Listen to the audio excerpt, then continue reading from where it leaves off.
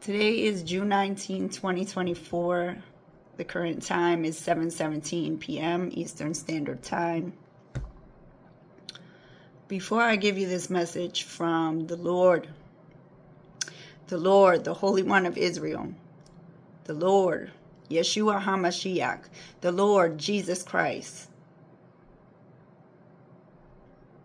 I want to encourage you to go ahead and test the Spirit. But in order to test the Spirit, you need the Holy Spirit. The Holy Spirit will be able to confirm or deny the word that you heard today, um, either in your own personal prayer time while you are meditating on God's word day and night. Um, or you can ask the Holy Spirit directly Holy Spirit, is this coming from you? Um, and what do I need to take away from this word? What do I need to know personally for me um, in the days ahead? This is what the Lord said. Foolish nation, are you so blind that you cannot see? Your leaders have gone to great lengths to keep you distracted, using the media to lull you to sleep. O sleeping giant, how great you are in your own eyes. I fed you from my storehouses. You always had more than enough, a surplus of resources and abundance. You flourished and thrived. You were mine, and I looked after you. I took care of you. I sustained you. I even won your wars.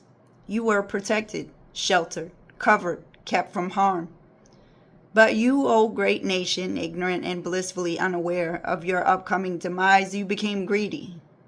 Your greed made you ungrateful. Your ungratefulness turned into entitlement.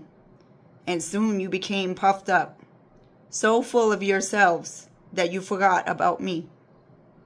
I gave you water for your thirst, lush pasture for your animals to feed on.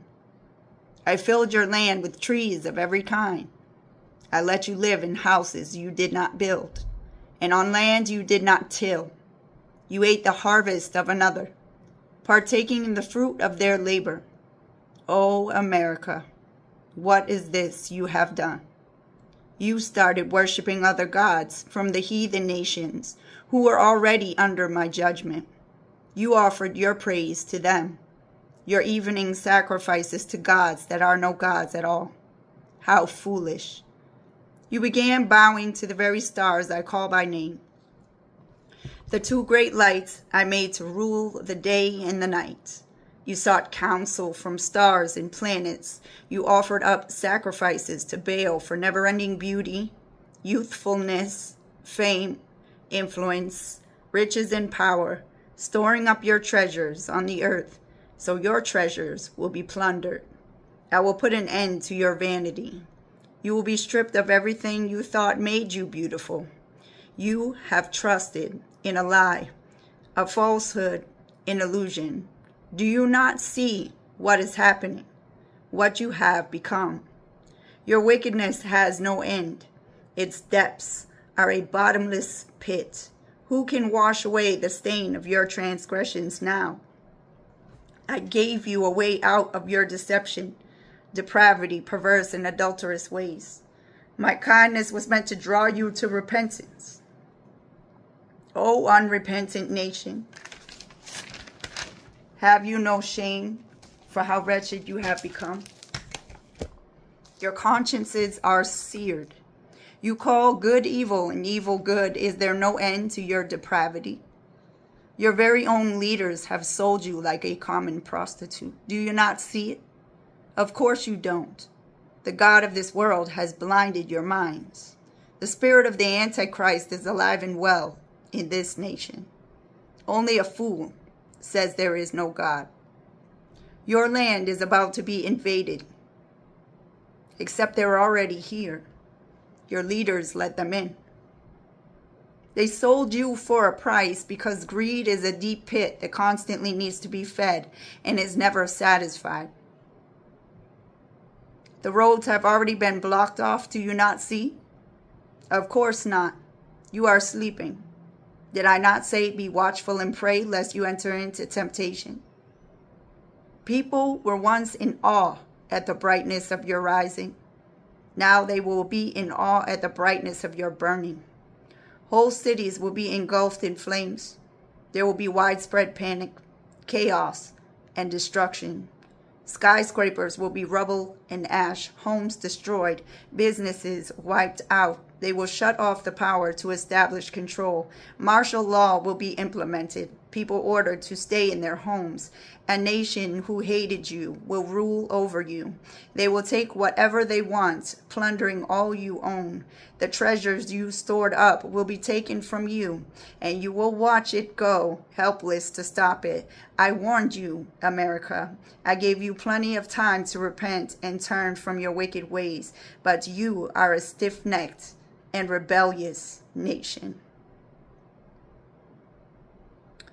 Will you still have no need of me when the abundance I provided is taken away?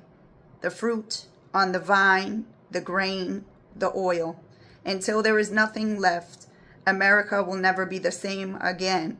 I, the Lord, have spoken. As I have purposed it, so it shall be. These are the following biblical confirmations that the Lord led me to shortly after receiving this word. I would encourage me, you in your own time to open up your Bible and read them. Second Kings chapter 6 verses 17 to 18. Second Kings chapter 17 verses 14 to 18. Second Kings chapter 17 just verse 20. Deuteronomy chapter 18 verses 9 to 14. Ezekiel chapter 4, verses 16 to 17. Ezekiel chapter 3, verses 18 to 21. Ezekiel chapter 3, verses 8 to 11. Genesis chapter 50, verse 20. Numbers chapter 16, verses 29 to 32. And the last one is John chapter 14, verse 6.